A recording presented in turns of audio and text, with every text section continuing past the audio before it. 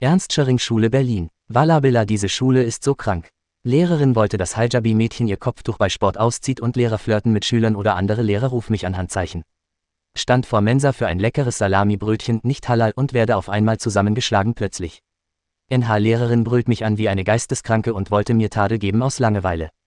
Antwort vom Inhaber. Die Salami auf den Brötchen in unserer Cafeteria ist halal. Stabile Schule, stabile Lehre, aber wenn du eine Sache falsch machst, wirst du Knockout verprügelt. Hakim, du bist Boss in der Schule, wenn wer frech wird, schick ihn Knocki und Frau bei auch Knocki, die brauchen mehr Respekt. Like und Abo nicht vergessen, ihr Keks.